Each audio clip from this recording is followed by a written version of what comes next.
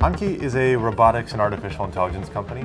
There are massive problems in robotics that we're super excited about, and we've thought about, that are 10, 15, 20, 25 year problems. Um, autonomous driving, humanoid service robots, healthcare, automating manufacturing. We wanted to have the biggest impact we can have immediately in a very short period of time. Our first product is Anki Drive, which is a video game in the real world where we're using this technology to make physical gameplay where the characters are alive, intelligent, interactive, and customizable to a degree that's never been possible outside of a screen.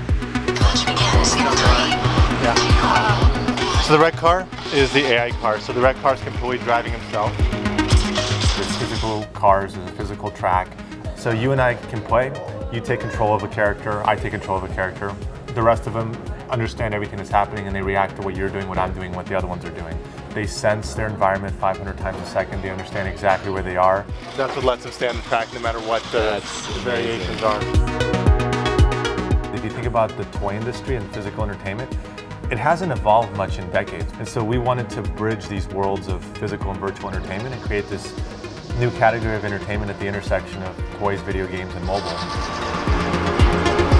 So it's a great way for us to work on these core building blocks in robotics, positioning systems, motion control, wireless communications, AI path planning. And so we have a video game inside an iPhone or iPod Touch or iPad that we synchronize with the physical world using robotics and AI.